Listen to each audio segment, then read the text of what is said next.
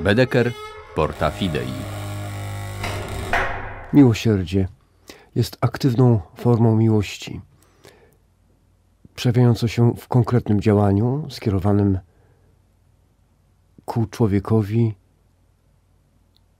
Jest to miłość czynna, ujawniająca godność człowieka, afirmująca godność człowieka. Bedeker Porta Fidei. Kiedy mówimy o miłosierdziu, to widzimy dwa aspekty tej czynnej miłości. Pierwszy aspekt to miłosierdzie Boże, i drugi aspekt to miłosierdzie człowieka adresowane do drugiego człowieka. W pierwszym aspekcie miłosierdzie Boga ujawnia się, jest to jedna z najważniejszych przymiotów Bożego Boga. E, Bóg ujawnia to miłosierdzie w akcie stworzenia. W stworzeniu manifestują się wszystkie przymioty Boga. To, co było ukryte, staje się oczywiste.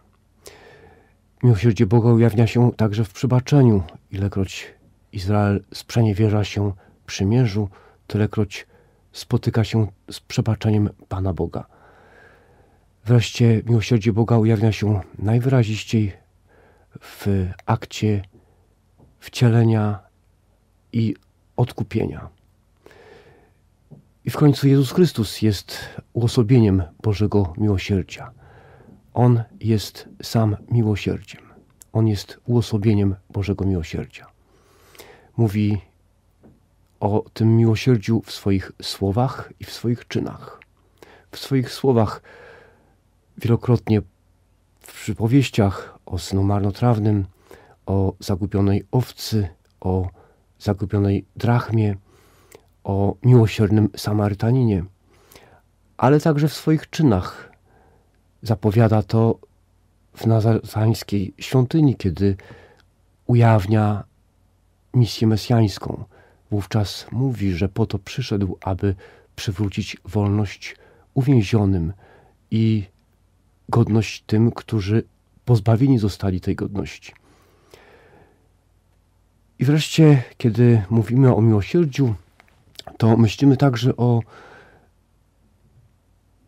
aktywnej miłości, czyli miłosierdziu człowieka adresowanej, adresowanej do drugiego człowieka.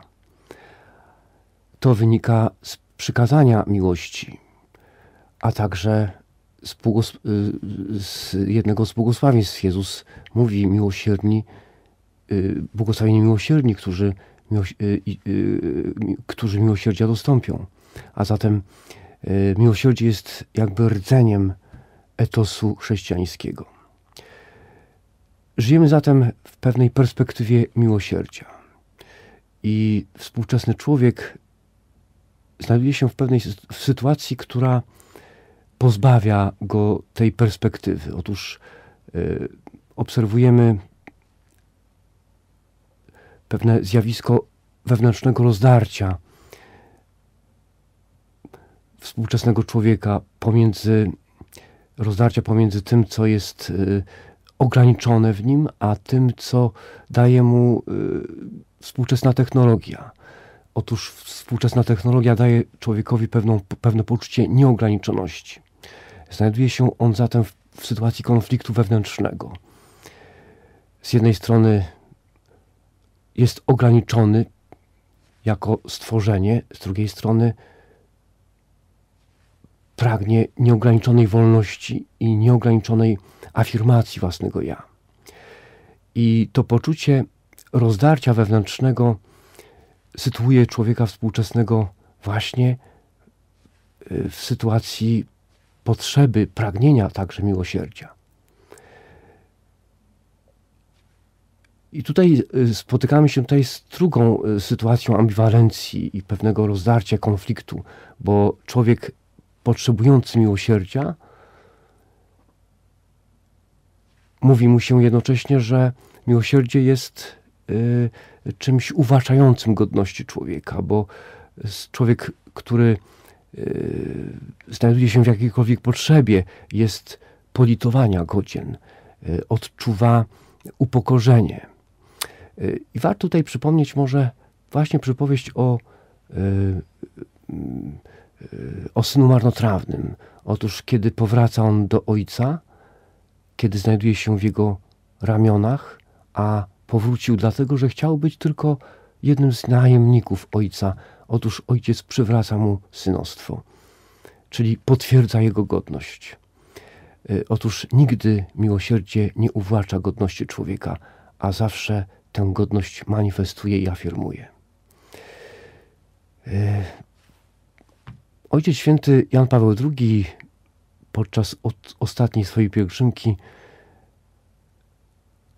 adresował, skierował do nas wezwanie w Sanktuarium Miłosierdzia Bożego, kończąc swoją homilię, powiedział: W Bożym miłosierdziu świat odnajdzie pokój, a człowiek szczęście. To wezwanie adresuję do Was. Tak zakończył swoje przemówienie. Niech to wezwanie będzie rzeczywiście adresowane do nas. Przyjmijmy go jako zadanie do realizacji we własnym życiu. Niech każdy z nas odnajdzie w miłosierdziu Bożym własne szczęście. Bedeker Porta Fidei